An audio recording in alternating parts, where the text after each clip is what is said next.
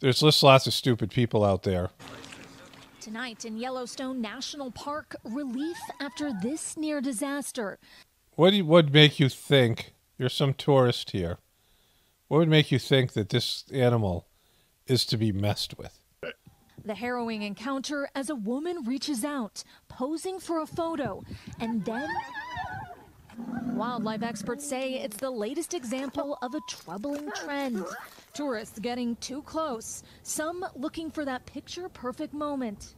You just can't see the animal. You have to include yourself in there. So you're looking at this incredible animal, but it's like, oh, I, I you know, would make this photo better if I was in it, right? Like, no, it wouldn't. Like, you know, you got your Instaghoul, you got your Skankathon platforms or whatever it is. You can post your, you know, your photos there.